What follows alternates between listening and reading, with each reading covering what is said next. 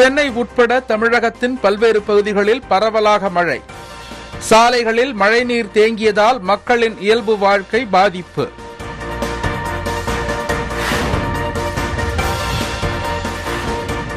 தமிழகத்தில் இன்று நான்காம் கட்ட மெகா தடுப்பூசி முகாம். இருபதாயிரம் மையங்களில் தடுப்பூசி போட ஏற்பாடு.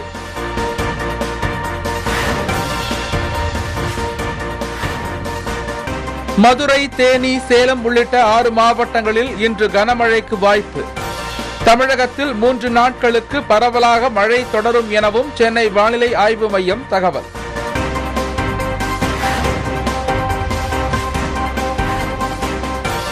தரங்கம்பாடி அருகே கடல் அரிப்பால் படகுகளை நிறுத்த முடியாமல் மீனவர்கள் அவதி. மகிமலை ஆற்றை தூர்வாரி முகத்வாரத்தை சீரமைக்க கோரிக்கை.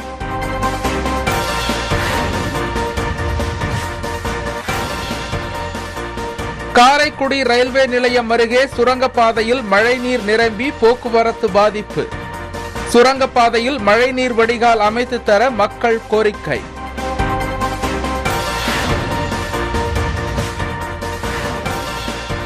போடியில் இலவங்காய் விவசாயத்தில் ஆர்வம் காட்டும் விவசாயிகள். இலவம் பஞ்சு விளைச்சல் அதிகரித்துள்ளதால் விவசாயிகள் மகிழ்ச்சி.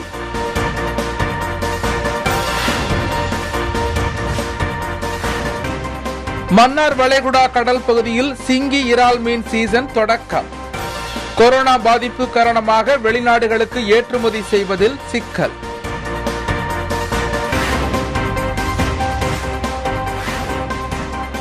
இலங்கை கடற்படையினரால் பறிமுதல் செய்யப்பட்ட தமிழக மீனவர்களின் படகுகள். ஐந்தாண்டுகளுக்கு மேலாக நூற்றுக்கும் மேற்பட்ட படகுகள் விடுவிக்கப்படாததால் வாழ்வாதாரம் பாதிக்கப்பட்டுள்ளதாக மீனவர்கள் வேதனை.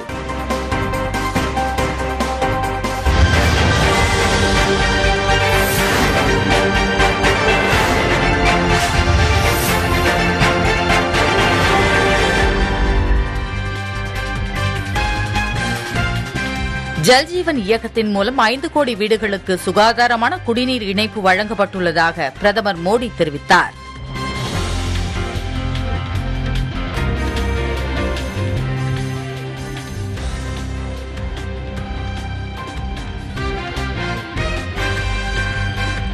கேரளாவில் நவம்பர் ஒன்றாம் தேதி முதல் பள்ளிகள் திறக்க அனுமதி வழங்கப்பட்டுள்ளது.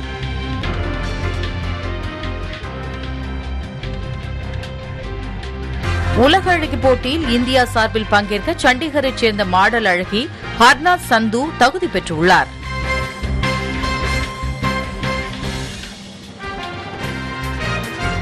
இந்தியாவின் நூறாவது சுதந்திர தினத்திற்குள் நாட்டை தற்சார்பாக மாற்ற கடுமையாக உழைப்போம் என நூற்று முப்பது கோடி மக்களும் உறுதியேற்க மத்திய அமைச்சர் அமித் ஷா வலியுறுத்தியுள்ளார்.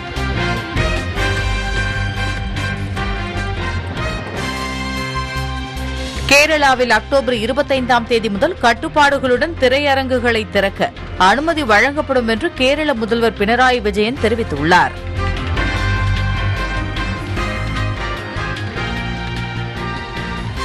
வான்பரப்பின் பாதுகாப்பு மண்டலத்திற்குள் அணுகுண்டுகளை வீசும் திறன் பெற்ற விமானங்கள் உள்ளிட்ட முப்பத்தெட்டு சீன போர் விமானங்கள் நுழைந்ததாக தைவான் குற்றம் சாட்டியுள்ளது.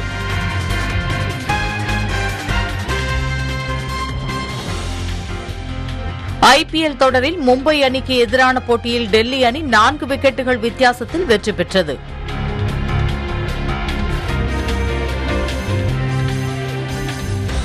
ஐபிஎல் தொடரில் சென்னை அணிக்கு எதிரான போட்டியில் நூற்று தொன்னூறு ரன்கள் இலக்கை ராஜஸ்தான் அணி துரத்தி வெற்றி பெற்றது.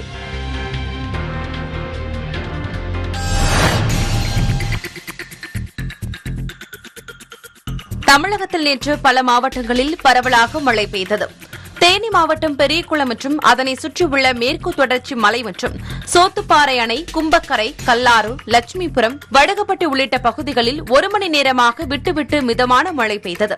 மூன்றாவது நாளாக தொடர்ந்து பெய்த மழையால் மானாவாரி விவசாயிகள் மகிழ்ச்சியடைந்தனர். நெல்லை மாவட்டம் திசையன்விளை ராதாபுரம் சுற்றுவட்டார பகுதிகளில் சாரல் மழை கனமழையாக மாறி ஒரு மணி நேரத்திற்கு மேலாக கொட்டி தீர்த்தது. ஈரோடு மாவட்டத்தில் இரண்டு மணி நேரத்திற்கு மேலாக பலத்த இடியுடன் கூடிய கனமழை பெய்தது. இதனால் சாலைகளில் வெள்ளம் பெருக்கெடுத்து ஓடியது. தஞ்சை நகர் பட்டுக்கோட்டை கரம்பயம் திருவையாறு உட்பட தஞ்சை மாவட்டத்தின் பல்வேறு பகுதிகளிலும் ஒரு மணி நேரத்திற்கு மேலாக கனமழை கொட்டித்தீர்த்தது இதனால் தாழ்வான பகுதிகளில் மழைநீர் வெள்ளம் போல் பெருக்கெடுத்து ஓடியது. வளிமண்டல மேலடுக்கு சுழற்சி காரணமாக திருப்பூர் மாவட்டம் உடுமலை மடத்துக்குளம் குடிமங்கலம் பெதப்பம்பட்டி போன்ற சுற்றுவட்டார பகுதிகளில் இடியுடன் கூடிய கனமழை பெய்தது. இதனால் ஆங்காங்கே மின்சாரம் துண்டிக்கப்பட்டது. கரூர் நகரம் தான்தோன்றிமலை பசுபதிப்பாளையம் காந்தி கிராமம் மாயனூர் வேலாயுதம் பாளையம் உட்பட மாவட்டத்தின் அனைத்து பகுதிகளிலும் பரவலாக மழை பெய்தது. இரண்டாவது நாளாக மழை விட்டுவிட்டு பெய்ததால் மாவட்டத்தில் நிலத்தடி நீர்மட்டம் உயரும் என விவசாயிகள் தெரிவிக்கின்றனர். பழனி மற்றும் அதன் சுற்றுவட்டார பகுதிகளில் சுமார் ஒரு மணி நேரத்திற்கு மேலாக இடியுடன் கூடிய கனமழை பெய்தது. இதனால் குளிர்ச்சியான சூழல் நிலவியது. வெப்பச்சலனம் காரணமாக சுமார் ஒரு மணி நேரத்திற்கு மேலாக திருச்சி துறையூர் நகர் பகுதிகளிலும் சுற்றியுள்ள அடிவாரம் கீரம்பூர் செங்காட்டுப்பட்டி கீழக்குணுப்பட்டி புளியம்பட்டி உள்ளிட்ட கிராமங்களிலும் கனமழை பெய்தது. விருதுநகர் மாவட்டம் அருப்புக்கோட்டை சொக்கலிங்கபுரம் புளியம்பட்டி காந்திநகர் உள்ளிட்ட நகர் பகுதிகளில் இடி மின்னலுடன் கூடிய பரவலான மழை பெய்தது.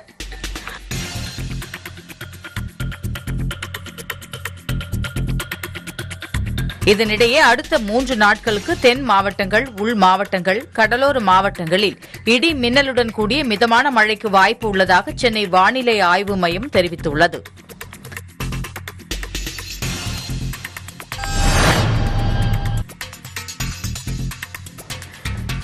மயிலாடுதுறை மாவட்டம் குட்டையாண்டியூர் கிராமத்தில் கடல் அரிப்பால் படகுகளை நிறுத்த முடியாமல் மீனவர்கள் அவதியடைந்துள்ளனர்.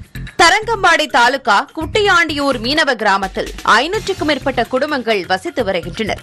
இந்நிலையில் கடந்த சில மாதங்களாக கடல் சீற்றத்தால் அலைகளின் தாக்கம் அதிகரித்து குட்டியாண்டியூரில் கடல் அரிப்பு ஏற்பட்டுள்ளது. மேலும் கரையோரம் படகுகளுக்கு பாதுகாப்பு அரணாக இருந்த நூற்றுக்கணக்கான கருவேல மரங்கள் கடலில் அடித்துச் செல்லப்பட்டதாக கூறப்படுகிறது. இதனால் தங்கள் படகுகளை கரையோரம் நிறுத்த முடியாமல் மீனவர்கள் சிரமத்திற்கு ஆளாகியுள்ளனர். மேலும் மகிமலை ஆறு சீரமைக்கப்பட்டால் கடல் அரிப்பு மற்றும் இயற்கை பேரிடர் காலங்களில் அச்சமின்றி மீன்பிடிக்க செல்லவும் படகுகளை பாதுகாப்பாக நிறுத்த முடியும் எனவும் மீனவர்கள் தெரிவித்தனர்.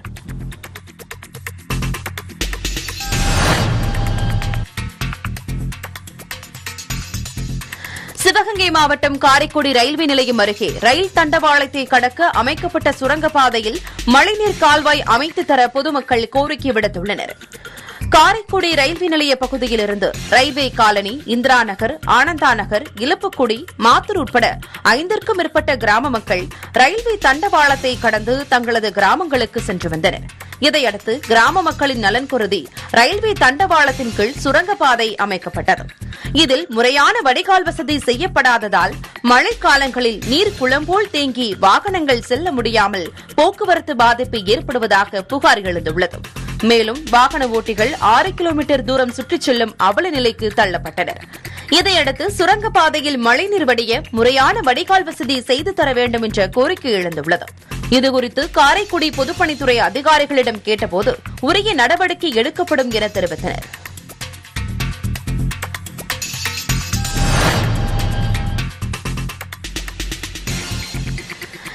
தேனியில் இலவம் பஞ்சு விளைச்சல் அதிகரித்து விலை அதிகரித்து உள்ளதால் விவசாயிகள் மற்றும் வியாபாரிகள் மகிழ்ச்சி அடைந்துள்ளனர்.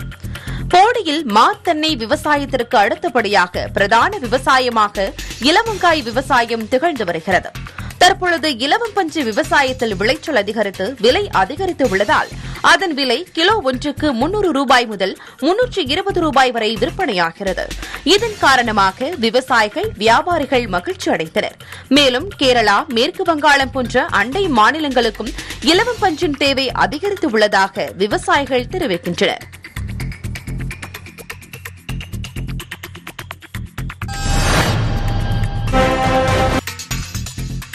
ராமநாதபுரம் மாவட்டம் மன்னார் வளைகுடா கடல் பகுதியில் சிங்கி இறால் வரத்து அதிகரித்துள்ள போதிலும் வெளிநாடுகளுக்கு ஏற்றுமதி செய்வதில் சிக்கல் ஏற்பட்டுள்ளது. தென்கடலான மன்னார் வளைகுடா கடல் பகுதியில் இந்த ஆண்டு சிங்கி இறால் வரத்து அதிகரித்துள்ளது. இந்த நிலையில் பாம்பனில் மீன்பிடித்து கரை ஒதுங்கிய நாட்டு படகுகளில் ஐம்பதுக்கும் மேற்பட்ட கிளிசிங்கி இறால்கள் சிக்கியிருந்தன. இந்த கிளிசிங்கி இறால்களை வியாபாரிகளே நேரடியாக வாங்கிச் செல்வர். சிங்கி இறால்கள் வியாபாரிகள் மூலம் கேரளாவுக்கு அனுப்பப்பட்டு அங்கிருந்து பல நாடுகளுக்கு ஏற்றுமதி செய்யப்படும். ஆனால் தற்போது வெளிநாடுகளில் கொரோனா பரவல் காரணமாக சிங்கி இறால் ஏற்றுமதி செய்வதில் சிக்கல் ஏற்பட்டுள்ளதாக மீனவர்கள் கவலை தெரிவித்துள்ளனர்.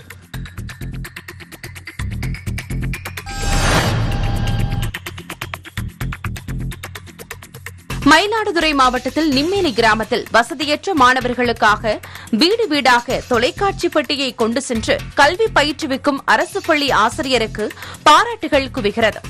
நிம்மேலி ஊராட்சி ஒன்றிய நடுநிலைப் பள்ளியில் ஆசிரியராக பணியாற்றி வருபவர் சீனிவாசன்.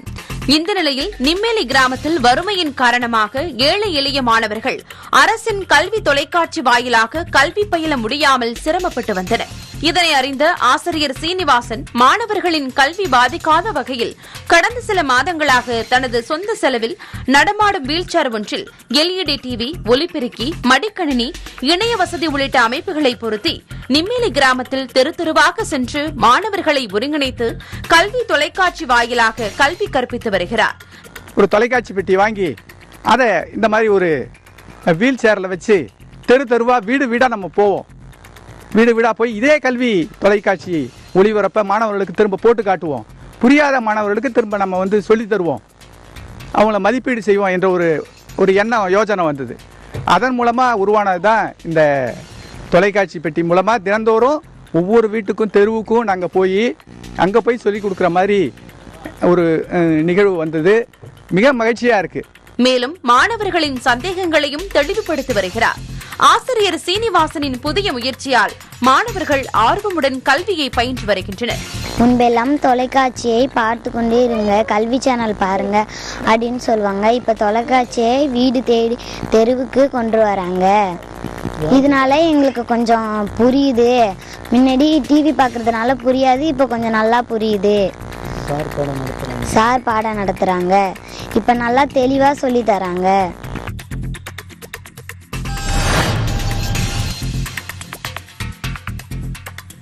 தேனி மாவட்டம் பெரியகுளம் அருகே மேற்கு தொடர்ச்சி மலையை ஒட்டியுள்ள சோத்துப்பாறை அணையின் நீர்பிடிப்பு பகுதிகளில் கடந்த மூன்று நாட்களாக பெய்த மழையின் காரணமாக அணைக்கு நீர்வரத்து அதிகரித்தது. இந்நிலையில் அணையின் முழு கொள்ளளவான நூற்று இருபத்தி ஆறு புள்ளி இரண்டு எட்டு அடியில் நூற்று இருபத்தி ஒரு புள்ளி இரண்டு எட்டு அடியை எட்டியது.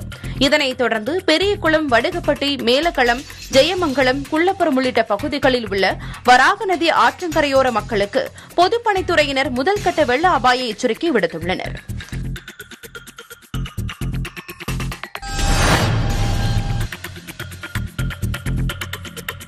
மேட்டூர் அணையிலிருந்து டெல்டா பாசனத்திற்காக வினாடிக்கு பனிரெண்டாயிரம் கன அடி தண்ணீர் திறக்கும்போது நீர்மின் நிலையங்களில் சுமார் இருநூற்று இருபத்தைந்து மெகாவாட் அளவிற்கு மின் உற்பத்தி செய்யப்படும். இந்த நிலையில் தற்போது டெல்டா மாவட்டங்களில் மழை பெய்து வருவதால் பாசன தேவை கணிசமாக குறைந்துள்ளது. இதனால் குறுவை சாகுபடிக்காக மேட்டூர் அணையிலிருந்து திறக்கப்பட்டு வந்த வினாடிக்கு பனிரெண்டாயிரம் கன அடி தண்ணீரை ஐந்தாயிரம் கன அடியாக குறைத்து வெளியேற்றப்பட்டு வருகிறது. இதன் காரணமாக நீர்மின் நிலையங்களில் மின் உற்பத்தி இருநூற்று இருபத்தைந்து மெகாவாட்டில் இருந்து நூற்று ஐம்பது மெகாவாட்டாக மின் உற்பத்தி குறைந்துள்ளது.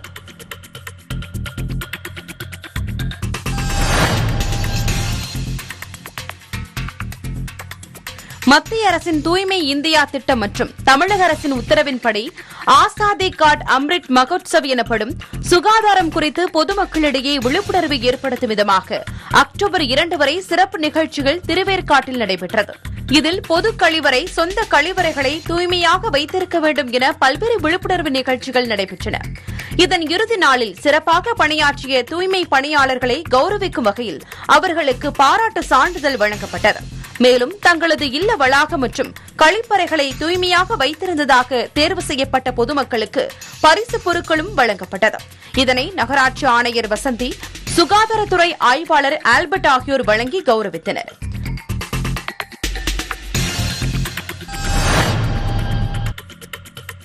ராமநாதபுரம் மாவட்டம் முதுகுளத்தூர் ஊராட்சி ஒன்றிய நடுநிலைப் பள்ளி மாணவர்கள் சார்பாக காந்தி ஜெயந்தி விழா மற்றும் கிளீன் இந்தியா நிகழ்ச்சி நடைபெற்றது. அப்போது காந்தி சிலைக்கு மாலை அணிவித்து மலர் தூவி மரியாதை செய்த மாணவர்கள். சேலை மற்றும் வேஷ்டி அணிந்து தாங்கள் கற்றுக்கொண்ட சிலம்ப கலையினை வெளிப்படுத்தி அசத்தினர். இதில் மாணவர்களுக்கு நேரு யுவகேந்திரா அமைப்பு சார்பாக சான்றிதழ்கள் வழங்கப்பட்டன.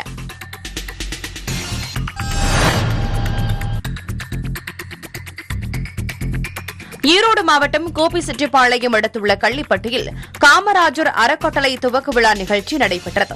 இந்த நிகழ்ச்சியில் தமிழக முன்னாள் காங்கிரஸ் கட்சி தலைவரும் முன்னாள் மத்திய அமைச்சருமான இவி கே எஸ் இளங்கோவன் கலந்து கொண்டு காமராஜர் காந்தி உள்ளிட்ட தலைவர்களின் உருவப்படங்களை திறந்து வைத்தார். தொடர்ந்து அறக்கட்டளை உறுப்பினர்களுக்கு நினைவு பரிசுகள் வழங்கிய அவர் காமராஜர் அறக்கட்டளை சார்பில் ஏழை மாணவர்களுக்கு கல்வி உதவித்தொகையினை வழங்கினார்.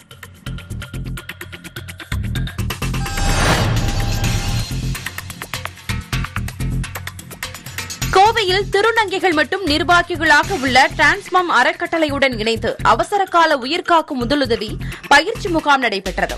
இதில் பொது இடங்களில் ஒருவருக்கு மாரடைப்பு சூழலில் உயிர் காப்பதற்கு உடனடியாக அளிக்கக்கூடிய சிபிஆர் எனப்படும் முதலுதவி சிகிச்சையை எவ்வாறு செய்வது குறித்து விளக்கப்பட்டது.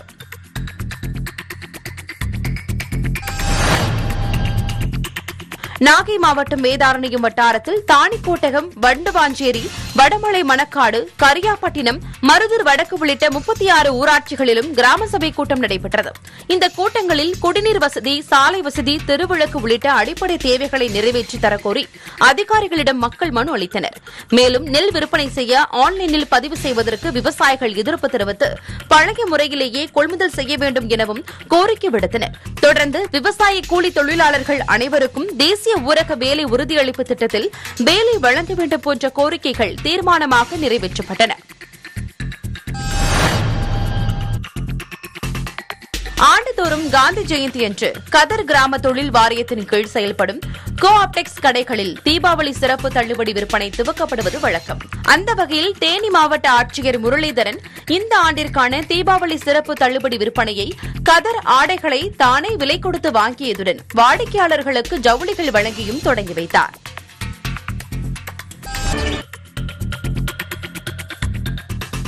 ஐந்து ஆண்டுகளுக்கு மேலாக பறிமுதல் செய்யப்பட்ட படகுகளை இலங்கை கடற்படையினர் விடுவிக்காததால் வாழ்வாதாரம் இழந்துள்ளதாக தமிழக மீனவர்கள் கவலை தெரிவிக்கின்றனர். கடந்த ஐந்து ஆண்டுகளுக்கு முன்பு ராமேஸ்வரம் பாம்பன் மண்டபம் மீன்பிடி துறைமுகத்திலிருந்து மீன்பிடிக்க சென்ற விசை படகுகள் எல்லை தாண்டி மீன்பிடித்ததாக கூறி அறுபத்தி மூன்று படகுகளை இலங்கை கடற்படையினர் பறிமுதல் செய்தனா் இதேபோன்று எல்லை தாண்டி மீன்பிடித்ததாக கூறி நாகை புதுக்கோட்டை தஞ்சாவூர் உள்ளிட்ட பகுதியைச் சேர்ந்த தமிழக மீனவர்களின் விசைப்படகுகள் நூற்று அறுபத்தி ஒன்பது படகுகளை இலங்கை கடற்படையினர் பறிமுதல் செய்துள்ளனர். இதனால் நூற்றுக்கும் மேற்பட்ட மீனவ குடும்பங்களின் வாழ்வாதாரம் பாதிக்கப்பட்டுள்ளதாக தமிழக மீனவர்கள் கவலை தெரிவிக்கின்றனர். பறிமுதல் செய்யப்பட்ட விசை படகுகளை விடுவித்து மீனவர்களின் வாழ்வாதாரத்தை பாதுகாக்க வலியுறுத்தி மீனவர்கள் மத்திய மாநில அரசிடம் பலமுறை மனுக்கள் அளித்தும் இதுவரை எந்தவொரு நடவடிக்கையும் எடுக்கவில்லை என மீனவர்கள் வேதனை தெரிவிக்கின்றனர். மீனவளத்துறை அமைச்சர் சொல்லியிருக்கிறோம். ஆனால் இதுவரைக்கும் அதுக்கு உண்டான ஏற்பாடுகள் எதுவுமே பண்ணி கொடுக்கல. அந்த மீனவ குடும்பங்கள் பூரா பசியும் பட்டினிமா வாழ்வாதாரம் இல்லாமல் பிள்ளைகளை படிக்க வைக்க முடியாமல் கா காலேஜ் கான்வென்ட்டில் படித்தாலும் நிப்பாட்டிட்டு பொழப்பு இல்லாமல் கூலிக்கு போய்கிட்டு இருக்காங்க. அரசாங்கம் இதை கருத்தில் எடுத்துக்கிட்டு அந்த குடும்பங்களுக்கு ஏதாச்சும் நிவாரணத் தொகை வழங்கி அந்த குடும்பங்களை காப்பாற்றுறதுக்கு உண்டான வழிவகையை பண்ணணும்? ஏன்னா அந்த கு- குடும்பங்கள் பூரா சாவ நோக்கி போய்கிட்டு இருக்காங்க. அவங்கள காப்பாற்றணும் மேலும் தங்களுக்கு இழப்பீடு வழங்க வேண்டும் எனவும் பாதிக்கப்பட்ட மீனவர்கள் கோரிக்கை விடுத்துள்ளனர்.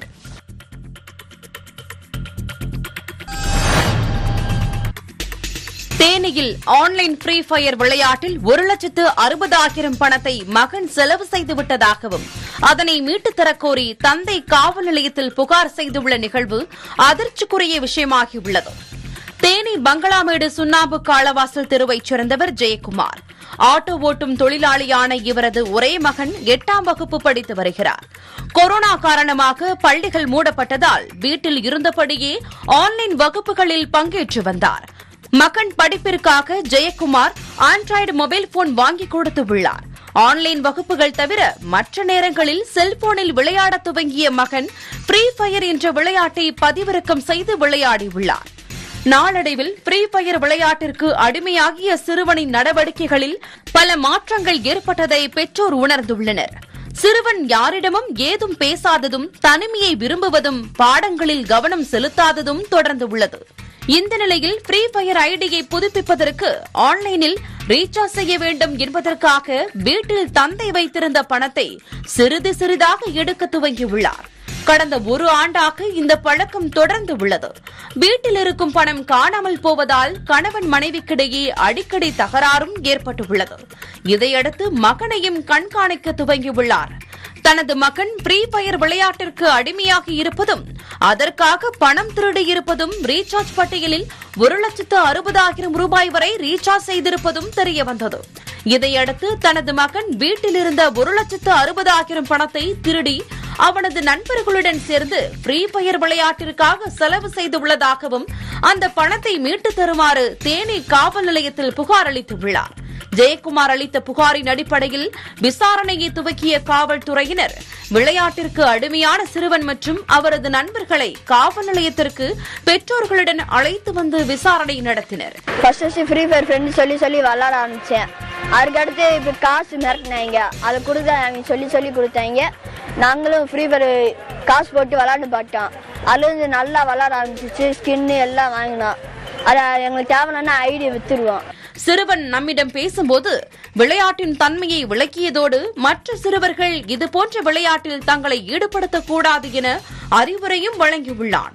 அதோடு இந்த ஃப்ரீ ஃபயர் விளையாட்டுக்கு தடை விதிக்க வேண்டும் என்பது பாதிக்கப்பட்ட இந்த பிஞ்சு நெஞ்சின் இதழ்கள் உதிர்க்கும் ஏக்கம் கலந்த கோரிக்கையாகவும் இருக்கிறது. தயவுசெய்து இந்த கேமை தடை விதிக்கிறதுக்கு இந்த க- மத்திய அரசும் நம்ம தமிழ்நாட்டு முதலமைச்சரும் இது ஒன்று சேர்ந்து எப்படியாவது என் பிள்ளையும் இங்கே இருக்கிற இந்த இதை பார்த்துக்கிட்டு கேட்டுக்கிட்டு இருக்கிற பிள்ளைகளை எல்லாத்தையும் காப்பாற்றுறதுக்கு நீங்கள் தான் வந்து தயவு செஞ்சு கொடுத்து எங்களை காப்பாற்றுங்க மொதல்.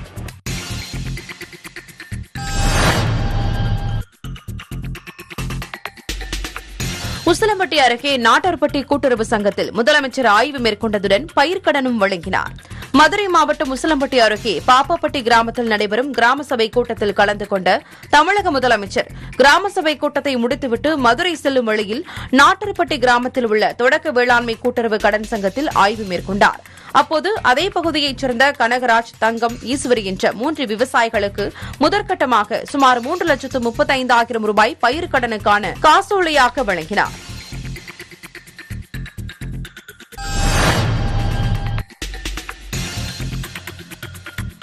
அரியலூர் மாவட்டம் எருத்துக்காரன்பட்டி கிராமத்தில் நடைபெற்ற கிராம சபை கூட்டத்தில் பொதுமக்கள் யாரும் குப்பைகளை வெளியில் கொட்டக்கூடாது எனவும் தங்களின் வீடுகளுக்கு வந்து குப்பைகள் வாங்கப்படும் எனவும் ஊராட்சி நிர்வாகம் சார்பில் அறிவுறுத்தப்பட்டது.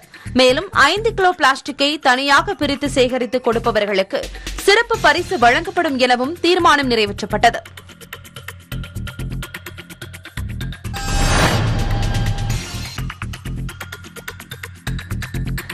மாவட்டம் வால்பாறை அருகே அடர்ந்த வனப்பகுதியில் பனிரண்டு ஆதிவாசி பழங்குடியின கிராம மக்கள் வசித்து வருகின்றனர். இந்த நிலையில் கடந்த இரண்டாயிரத்து பதினெட்டாம் ஆண்டு பெய்த கனமழை காரணமாக ஆதிவாசி கல்லார் பழங்குடியினர் வசிக்கும் கிராமத்தில் மண் சரிவு உள்ளிட்ட இயற்கை சீற்றங்கள் ஏற்பட்டது. இதையடுத்து அங்கு வசித்து வந்த இருபத்தி மூன்று குடும்பங்களைச் சேர்ந்த மக்களுக்கு தெப்பக்குளம் மேடு பகுதியில் இடம் ஒதுக்கப்பட்டு தற்காலிகமாக தங்க வைக்கப்பட்டனர். பின்னர் அங்கிருந்து கல்லார் தேயிலை தோட்டம் பகுதியில் தங்க அனுமதிக்கப்பட்டனர். ஆனால் மீண்டும் தங்கள் வனப்பகுதியான தெப்பக்குளமேடு பகுதியில் வாழ வழிவகை செய்து தர வேண்டும் என ஆதிவாசி பழங்குடியின கிராமத்திற்கு செல்லும் வனப்பகுதி அருகில் சுமார் இருநூற்றுக்கும் மேற்பட்டவர்கள் உண்ணாவிரத போராட்டத்தில் ஈடுபட்டனர்.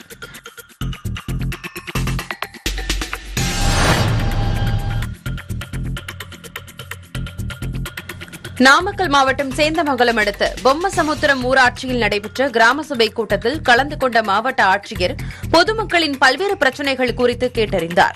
இக்கூட்டத்தில் கிராம மக்கள் தங்கள் பகுதியில் கால்நடை மருத்துவமனை அமைக்க வேண்டும் விவசாய பயன்பாட்டிற்கு உள்ள கிணறுகளில் இருந்து தண்ணீர் விற்பனை செய்வதை தடுக்க வேண்டும் என்பன உள்ளிட்ட கோரிக்கைகளை முன்வைத்து தீர்மானங்கள் நிறைவேற்றினர் தீர்மானங்கள் குறித்து பேசிய ஆட்சியர் ஸ்ரேயாபி சிங் பொதுமக்களின் கோரிக்கைகளை உடனடியாக நிறைவேற்ற நடவடிக்கை எடுக்கப்படும் என தெரிவித்த அவர் கிராமப்புறங்களில் அதிக அளவு குழந்தை திருமணங்கள் நடைபெறுவதை தடுக்க மாவட்ட நிர்வாகத்துடன் கிராம மக்கள் முழு ஒத்துழைப்பு அளிக்க வேண்டும் என கேட்டுக் கொண்டாா்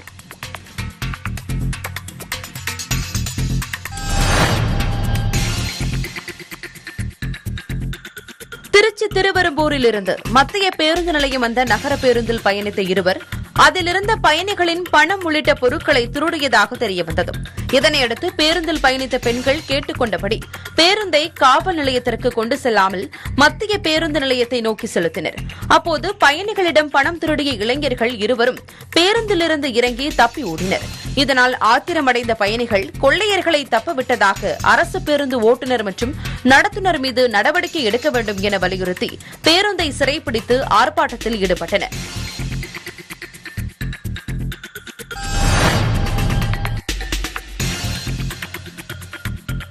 மேட்டூரை அடுத்த நங்கவள்ளி ஆரம்ப சுகாதார நிலைய நடமாடும் மருத்துவமனை ஊழியர்கள் பாதிக்கப்பட்டவர்களுக்கு மருந்து மாத்திரைகள் வழங்காமல் மரத்தடியில் இளைப்பாறி வருவதாக புகார் எழுந்துள்ளது. சேலம் மாவட்டம் மேட்டூரை அடுத்த நங்கவள்ளியில் ஆரம்ப சுகாதார நிலையத்தின் மூலமாக பொதுமக்களின் குடியிருப்புக்கு நேரடியாக சென்று மருத்துவம் பார்க்கும் நடமாடும் மருத்துவமனை வாகனங்கள் செயல்பட்டு வருகிறது. இதில் மருத்துவர் செவிலியர் உதவியாளர் ஓட்டுநர் உட்பட நான்கு பேர் பணிபுரிந்து வருகின்றனர். ஆனால் மேட்டூரை அடுத்த ராமநகர் பூங்கா பகுதியில் ஆள் நடமாட்டமே இல்லாத இடத்தில் மருத்துவர் இல்லாமல் குறைந்த அளவு மாத்திரைகளை வைத்துக் கொண்டு மக்களை தேடிச் செல்லாமல் மரத்தடியில் இளைப்பாறி வருவதாக அப்பகுதியினர் குற்றம் சாட்டியுள்ளனர். இது அரசின் பணத்தை வீணடிப்பதோடு முயற்சியை சீர்குலைப்பதாகவும் அப்பகுதியினர் தெரிவித்துள்ளனர். இதனால் மக்களின் உயிர் காக்கும் பணியில் அலட்சியம் இருக்கும் அதிகாரிகள் மீது உடனடியாக அரசு நடவடிக்கை எடுக்க வேண்டும் என்பது அப்பகுதி மக்களின் கோரிக்கையாக உள்ளது.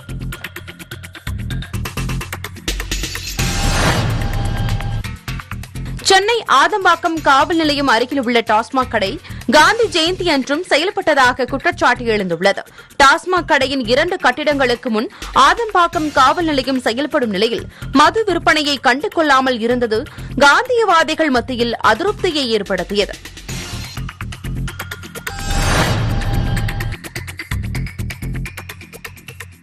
ராமேஸ்வரம் மண்டபம் மத்திய கடல் ஆராய்ச்சி நிறுவனம் இந்திய கடலோர காவல் படை ராமேஸ்வர கடற்படை பிரிவு மற்றும் அகில இந்திய யாத்திரை பணியாளர்கள் சங்கம் என அனைவரும் இணைந்து ராமநாத சுவாமி திருக்கோவில் எதிரே உள்ள அக்னி தீர்த்த கடற்கரையில் குப்பைகளை அகற்றினர். கடற்கரையை சுத்தம் செய்ததில் சுமார் ஐநூறு கிலோ மக்காத குப்பைகள் சேமிக்கப்பட்டது. நிகழ்ச்சியில் மாணவர்கள் தன்னார்வலர்கள் ரோட்டரி சங்கம் என பலர் கலந்து கொண்டனர். திருவண்ணாமலை மாவட்டம் ஆரணி அடுத்த வெள்ளேரி கிராம ஊராட்சியில் பாரத பிரதமர் மோடி வீடியோ கான்பரன்ஸ் மூலம் கலந்து கொண்டு ஊராட்சி மன்ற தலைவரிடம் உரையாற்றியுள்ளார். திருவண்ணாமலை மாவட்டம் ஆரணி ஒன்றியம் வெள்ளேரி ஊராட்சியில் கிராம சபை கூட்டம் நடைபெற்றது. அப்போது பாரத பிரதமர் மோடி வீடியோ கான்பரன்ஸ் மூலம் கலந்து கொண்டு ஊராட்சி மன்ற தலைவர் சுதா சுப்பிரமணியத்திடம் கலந்துரையாடினார். அப்போது நடந்த உரையாடலில் ஊராட்சி பகுதியில் வீடுகளுக்கு கிடைக்கும் தண்ணீர் வசதி குறித்தும் மத்திய அரசின் ஜல்ஜீவன் திட்டத்திற்காக தடுப்பணைகள் கட்டப்பட்டது குறித்தும் பண்ணை குட்டைகள் வெட்டப்பட்டது குறித்தும் விசாரித்துள்ளார். தொடர்ந்து ஆரணிப்பட்டு நெசவின் சிறப்புகள் குறித்தும் கிராம சபை கூட்டத்தில் பாரத பிரதமர் நரேந்திர மோடி அவர்கள் வீடியோ கான்பரன்ஸ் மூலம் தன்னிடம் பேசியதாக ஊராட்சி மன்ற தலைவர் சுதா சுப்பிரமணியம் தெரிவித்துள்ளார்.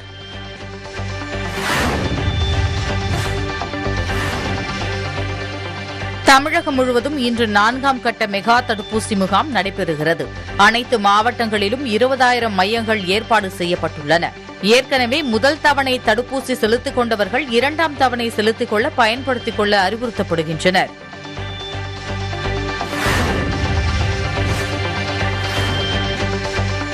நாகை மாவட்டம் வேதாரண்யம் தாலுகாவில் கடந்த மூன்று வாரங்களாக பொதுமக்களுக்கு கொரோனா தடுப்பூசி முகாம் சுகாதாரத்துறை சார்பில் நடைபெற்றது. தடுப்பூசி செலுத்திக் கொள்வதற்கு மக்களை ஊக்கப்படுத்த பல்வேறு ஊக்க பரிசுகளை அந்த ஊராட்சி நிர்வாகம் அறிவித்தது. இந்த நிலையில் வடமலை மணக்காடு ஊராட்சியில் நடைபெற்ற கொரோனா தடுப்பூசி முகாமில் கலந்து கொண்டு கொரோனா தடுப்பூசி செலுத்திக் கொண்டவர்கள் குலுக்கல் முறையில் தேர்வு செய்யப்பட்டு கிராம சபா கூட்டத்தில் முறையே முதல் பரிசு ஒரு கிராம் தங்க காசு இரண்டாம் பரிசு மிக்சி மூன்றாம் பரிசு பேன் மற்றும் ஐந்து நபர்களுக்கு புடவைகள் ஊராட்சி மன்றத்தின் சார்பில் வழங்கப்பட்டது.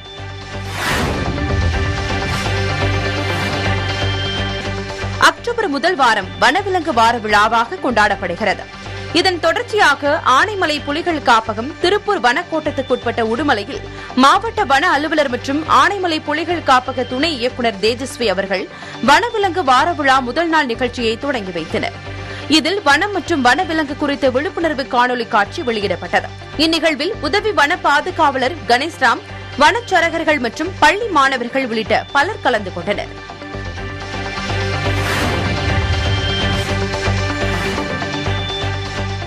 கிருஷ்ணகிரி மாவட்டம் ஓசூர் அருகே சிப்காட் போலீசார் அரவிந்த் அக்ரஹாரம் பகுதியில் வாகன சோதனையில் ஈடுபட்டனர். அப்போது இரண்டு இருசக்கர வாகனத்தில் கர்நாடக மதுபான பாக்கெட்டுகளை கடத்தியது தொடர்பாக இரண்டு பேரை கைது செய்த போலீசார் இரண்டு இருசக்கர வாகனம் மற்றும் முப்பதாயிரம் ரூபாய் மதிப்புள்ள மதுபான பாக்கெட்டுகளையும் பறிமுதல் செய்தனா்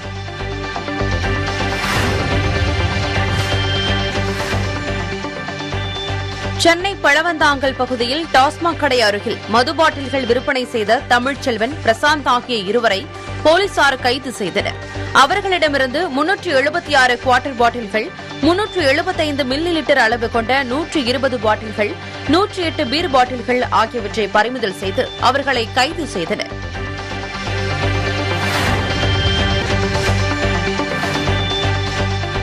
புதுச்சேரி மாநிலம் காரைக்கால் மாவட்டத்தில் காந்தி ஜெயந்தியை முன்னிட்டு மதுக்கடை மீன் மற்றும் இறைச்சி கடைகளை திறக்க தடை விதித்து அரசு அரசாணை வெளியிட்டது. ஆனால் நகராட்சிக்கு சொந்தமான நேரு மீன் மார்க்கெட்டில் தடையை மீறி மீனவர்கள் விற்பனையில் ஈடுபட்டனர். இதை அறிந்து சம்பவ இடத்திற்கு வந்த நகராட்சி அதிகாரிகள் போலீசார் உதவியுடன் அனைத்து மீனவர்களையும் வெளியேற்றிய பின் மீன் மார்க்கெட்டை இழுத்து மூடி பூட்டினர்.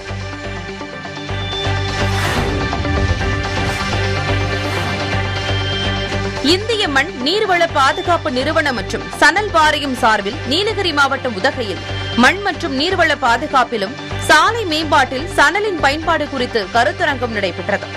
கருத்தரங்கில் சணல் வாரிய ஆணையர் மோலாய் சந்தன் சக்கரபர்த்தி பேசுகையில் ஒரு ஹெக்டேர் பரப்பளவில் பயிரிடப்பட்டுள்ள சணல் பயிர்கள் பதினைந்து மெட்ரிக் டன் கார்பன் டை ஆக்சைடை உட்கொண்டு பதினோரு மெட்ரிக் டன் ஆக்சிஜனை வெளியேற்றுகிறது எனவும் மண்ணில் உயிரி சத்துக்களை அதிகரிக்க செய்கிறது எனவும் தெரிவித்தார். மேலும் இந்தியாவில் நடப்பாண்டு ஆயிரத்து ஐநூறு கோடி ரூபாய்க்கு மேல் சணல் ஏற்றுமதி செய்யப்பட்டுள்ளதாகவும் கூறினார்.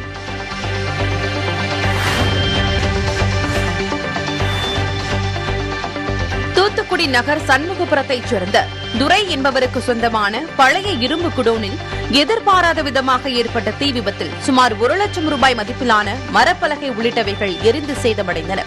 இதுகுறித்து போலீசார் விசாரித்து வருகின்றனர்.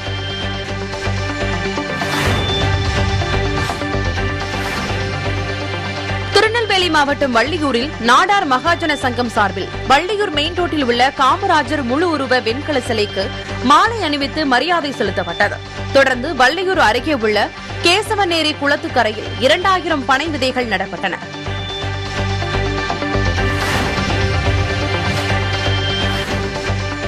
விருதுநகர் மாவட்டம் வத்திராயிருப்பு அருகே கூமாப்பட்டி அம்பேத்கர் சிலை பகுதியில் இருந்து பிளவக்கள் அனைவரை தற்போது புதிதாக தார் சாலை அமைக்கும் பணி நடைபெற்று வருகிறது. இந்நிலையில் முறையாக பழைய சாலையை தோண்டி அகற்றாமல் அதன் மேலேயே புதிய சாலை போடுவதற்கு எதிர்ப்பு தெரிவித்து தைக்காத்திரு பகுதியில் பொதுமக்கள் போராட்டத்தில் ஈடுபட்டனர்.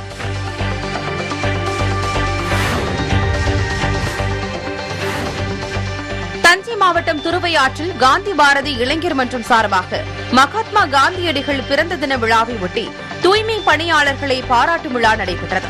இவ்விழாவில் தூய்மை பணியாளர்களுக்கு சால்வை அணிவித்து கேடயங்கள் வழங்கி கௌரவப்படுத்தப்பட்டனா்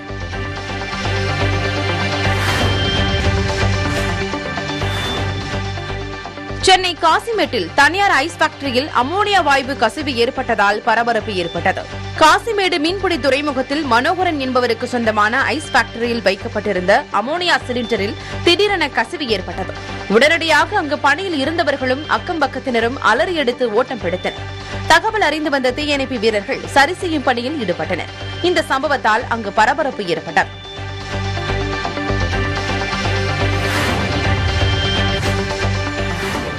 அரியலூர் மாவட்டம் ஜெயங்கொண்டம் அருகே உள்ள சூரிய மணல் கிராமத்தில் பழனியம்மாள் என்பவர் மாடுகள் வளர்த்து வருகிறார். இந்த நிலையில் அப்பகுதியில் உள்ள இருபது அடி கிணற்றில் அவர் வளர்த்து வந்த ஒரு பசுமாடு தவறி விழுந்துள்ளது.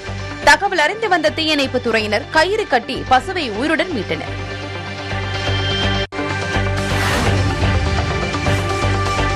புதுச்சேரி ரயில் நிலையத்தில் திருச்சி கோட்ட ரயில்வே பொது மேலாளர் மணிஷ் அகர்வால் ஆய்வு செய்தார். அப்போது ரயில் நிலையத்தில் உள்ள மூன்று நடைமேடைகள் டிக்கெட் கொடுக்கும் இடம் பயணிகள் தங்கும் அறை டிக்கெட் பரிசோதகர் அறை நீட்டிக்கப்பட உள்ள சர்வீஸ் லைன் உள்ளிட்ட இடங்களுக்கு சென்று பார்வையிட்டார். தேனி மாவட்டம் பெரியகுளம் பகுதியை ஒட்டி மேற்கு தொடர்ச்சி மலை மற்றும் கொடைக்கானல் மலைப்பகுதியில் பெய்து வந்த மழையின் காரணமாக கும்பக்கரை அருவிக்கு நீர்வரத்து அதிகரித்துள்ளது. இதனால் கும்பக்கரை அருவிக்கு கீழ் உள்ள விவசாயிகள் மகிழ்ச்சி அடைந்துள்ளனர்